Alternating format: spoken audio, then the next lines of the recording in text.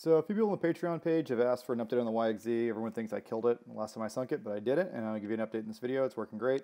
Um, people also asked for an update on the DJI Mavic Mini, the OG Mini. Um, the drone I crashed in the ocean last week. It's kind of working, but I'll give you an update on that too. And then um, also there's some random footage at the end from a dash cam of the Lexus at Holopaw. Took it out on Saturday, Sunday, and it did really well. Um, V8 power. Um, but yeah, couple other updates in here. I'm looking at getting the new ZR2, um, crazy torque out of that four cylinder in a small truck. And I really, kind of, kind of still shopping for an RMAX. And I want a new ATV, but there's nothing new exciting coming out for 2023, unfortunately. So not sure what I'm going to do there. YXZ is running good. It's been swamped twice. Um, the drone's been swamped three times. And the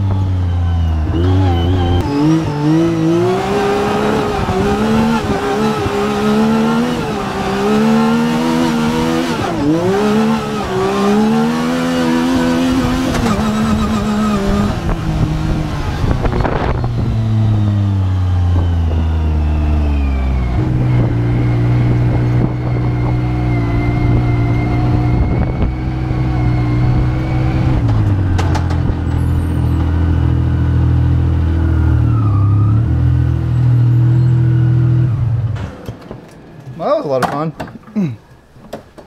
the mighty YXZ left some rubber in the garage. Look at that. Oh, I spun the tires all the way out here. Hell yeah. Pretty good. I better fix them rocks. There, that's checked. Running pretty good. That is a tough machine. Well, I don't know about tough machine. That's a very tough motor. I mean, it just ripped. It landed in salt water about a week ago. A week ago. So we're gonna try it out and see see what's what. the gimbal doesn't seem to be working quite right. See how it's not super stabilized? Ooh, and I can't aim the gimbal up and down anymore. So this thing's been crashed hard three times in water. So it's a miracle that it works at all. Let's see if I can figure out what's going on with this gimbal. And this last time was in salt water, which was a first for it. Huh. Grab it, and if you grab it and you flip it right upside down, it'll kill the motors, I think. Yeah, check that out. All right, cool. Um, so we got the drone back.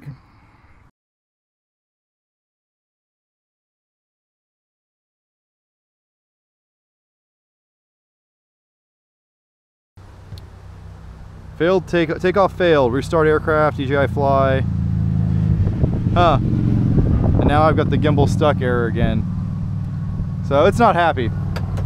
Time to retire this thing. I guess it's impressive that it flew at all, uh, considering how much water it's been in, but yeah, doesn't seem to be useful at this point. I'll look up these error codes, but I don't think there's gonna be an easy fix.